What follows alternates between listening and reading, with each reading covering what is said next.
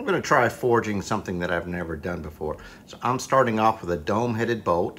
I've got it in the propane forge and we're gonna heat it up to 1,800 degrees so we can work with it.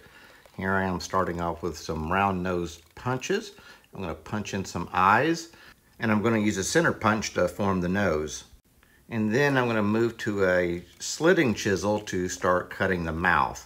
You can see here that I've changed from the vise to a swage block for holding so I can rotate the material and cut in the teeth. And here we go. It's a skull wearing a hat.